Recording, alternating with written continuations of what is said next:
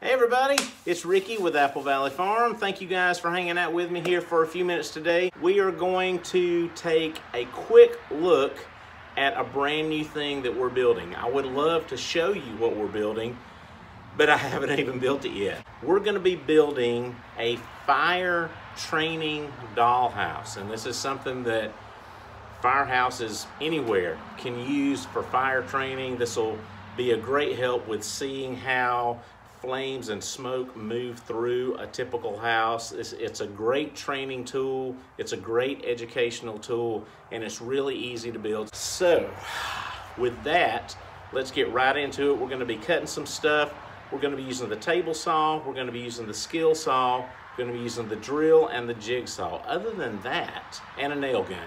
Other than that, that's pretty much it. So this is a pretty straight ahead build but it's really cool and it's it's an actual little dollhouse. So um, let's get into it and see how it turns out. I'm excited. I don't know what's gonna happen, but you'll find out with me. All right, here we go.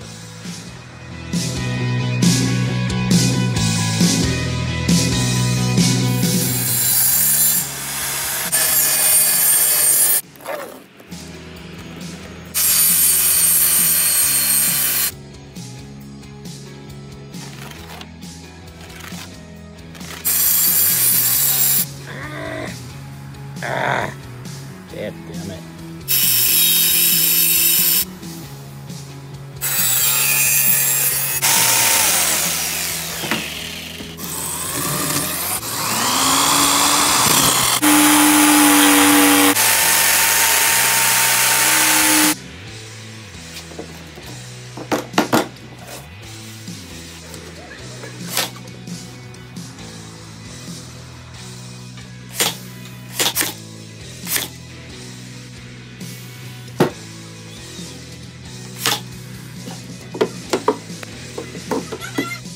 What is it?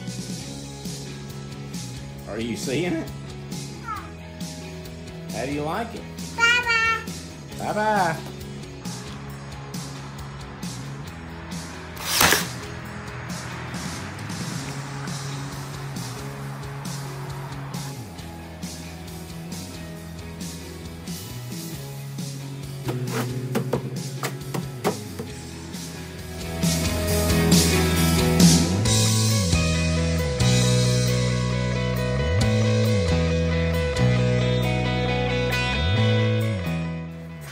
Uh, the only thing we have left to do is um, put some covering over these and we've got some uh, some high temp glass that we're gonna do something with sliding these in there so they can be reused as the house burns down around it. But for right now and just because of the length of this video I'm going to call that a wrap here and then maybe we'll do something where we add the glass in a future video.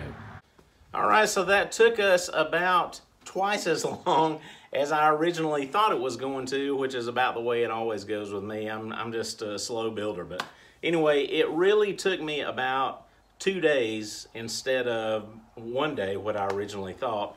Really took me about two days to put this all together, but still, now that I've done it, now the next one will be faster, and I believe you can probably cut and build this thing in a day or maybe even less.